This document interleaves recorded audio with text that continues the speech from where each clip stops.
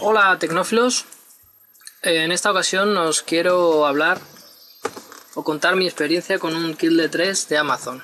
En primer lugar, bueno, pues enseñaros eh, cómo llega el dispositivo a casa.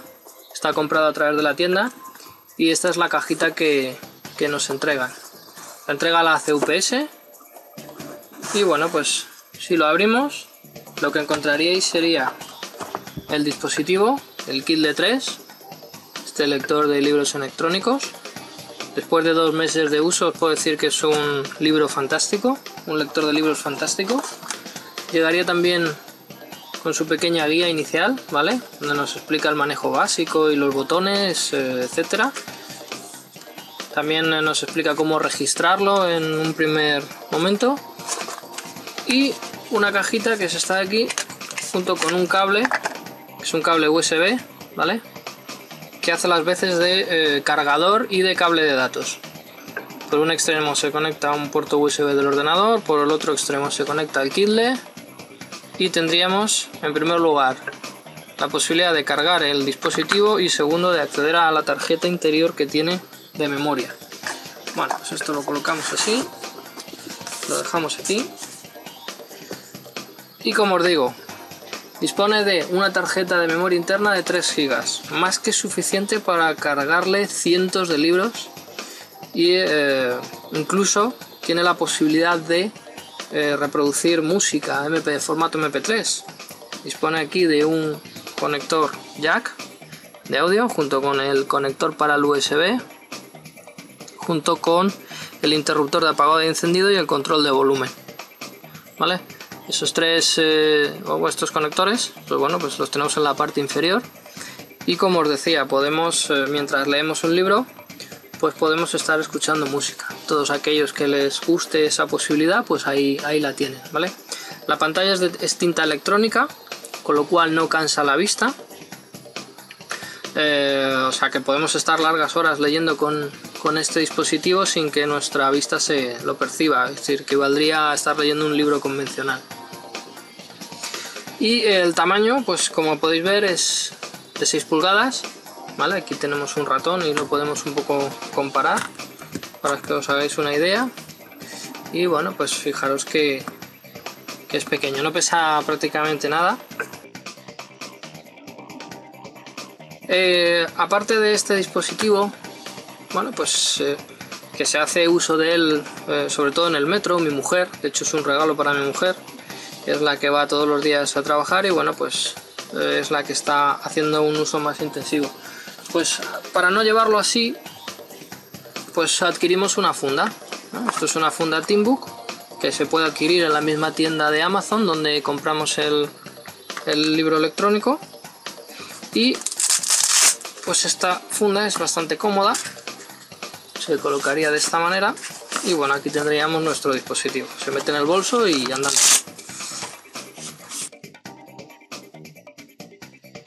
El tiempo de entrega, este dispositivo lo compré en marzo. Eh, lo compré un lunes y me lo entregaron un jueves. La entrega la hizo UPS. ¿vale? La verdad que es, fue muy rápida la compra.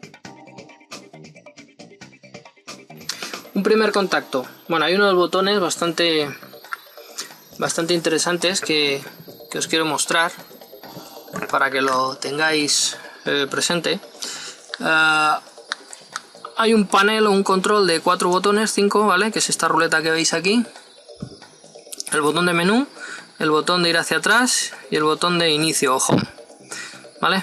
Entonces esos tres botones pues prácticamente son muy intuitivos de hacer uso de ellos y bueno, lo primero que vamos a hacer es encenderlo. Para encenderlo presionamos aquí el interruptor y ya se encendería y nos muestra la, la página principal o la, la página inicial del, del, lector, ¿vale?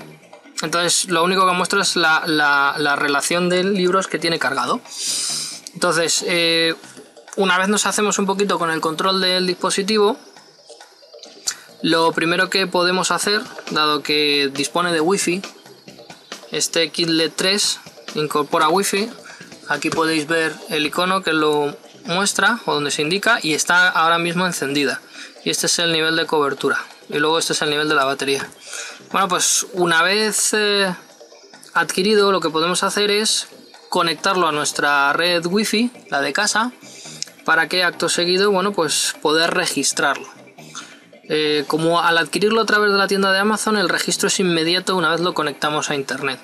¿Cómo lo conectamos a internet? Muy sencillo. Pues desde la tecla menú se nos despliega este menú que veis aquí. Nos posicionaríamos en el, que se encuentra más arriba, que nos, nos activa la wifi. En este momento la wifi está encendida, con lo cual si diéramos una orden para apagarla, pues es lo que conseguiríamos eh, haciendo clic sobre esa opción.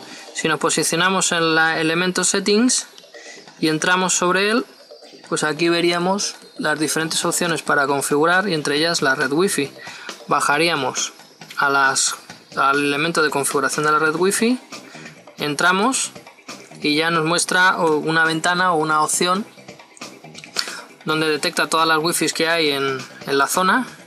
Nuestra red wifi es la 10003 y bueno pues ya la tenemos configurada. Tendríamos que seleccionar que queremos conectarnos a esta red wifi y acto seguido pues habría que ponerle la contraseña de acceso a nuestra red.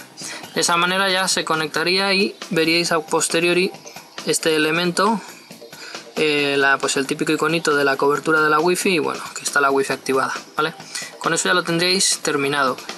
Una vez hecho esto se registraría solo vamos a la pantalla de inicio y nos llegaría un primer mensaje eh, de bienvenida a... y como veis este es el mensaje de bienvenida.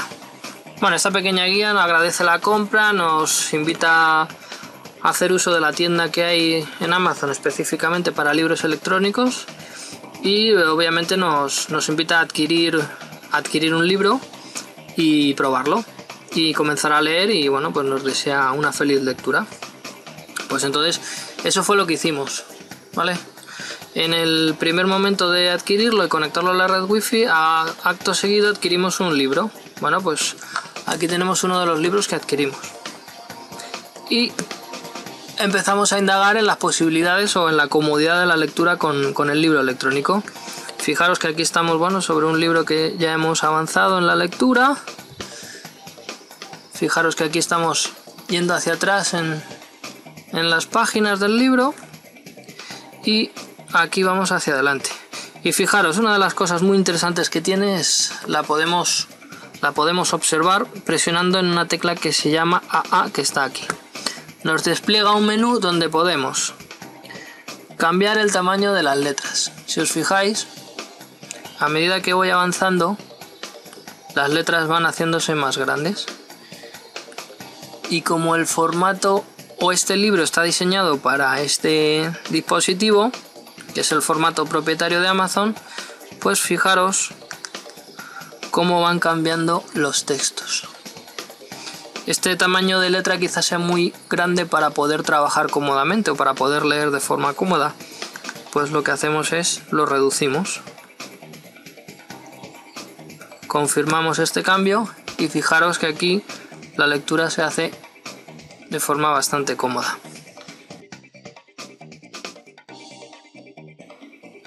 Y luego aquí abajo tiene otra posibilidad que es invertir el texto y podemos leerlo de esta manera.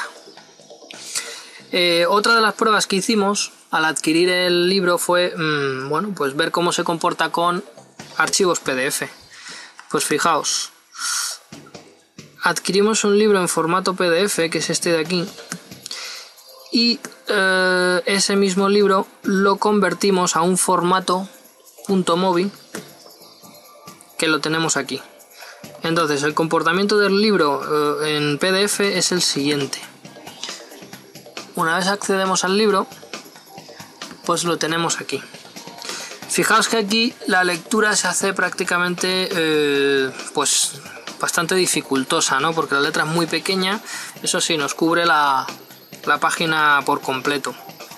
Y en el caso de que queramos configurar a medida pues eh, la letra y el tamaño, pues la única posibilidad que nos ofrece es ajustarlo a pantalla o en porcentaje ir ampliando el tamaño del PDF, el tamaño actual. Entonces si fijaros lo ampliamos un 200% y lo confirmamos, estaríamos leyendo solo ese cachito de, de la pantalla de la hoja de PDF. Y tendríamos que ir haciendo scrolling sobre la pantalla para poder leer el texto completo. Esto, este comportamiento con los PDFs, que está hecho así, ¿vale?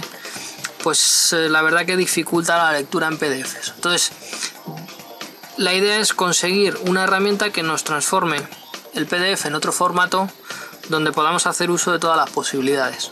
Y esa herramienta existe y se llama Calibre. Vale, ese software nos permite convertir el formato PDF a un formato por ejemplo Mobi. Os hablo de Mobi porque después de las pruebas que yo he realizado, llego a la conclusión de que lo más sencillo es haciendo uso del software calibre con las opciones por defecto, todos los PDFs que queramos convertir los pasemos a Mobi y el resultado sería similar a este. ¿Vale? Tenemos aquí, accedemos y esta sería, este sería el resultado del libro en formato móvil. Como veis, ya podemos hacer uso de todas las funcionalidades que nos ofrece el Kindle 3, entre ellas cambiar el tamaño de las letras, el tipo de letra, el espaciado, las palabras por línea que queremos, etcétera. De tal manera que ya podríamos configurarnos a medida o de forma mucho más cómoda la lectura.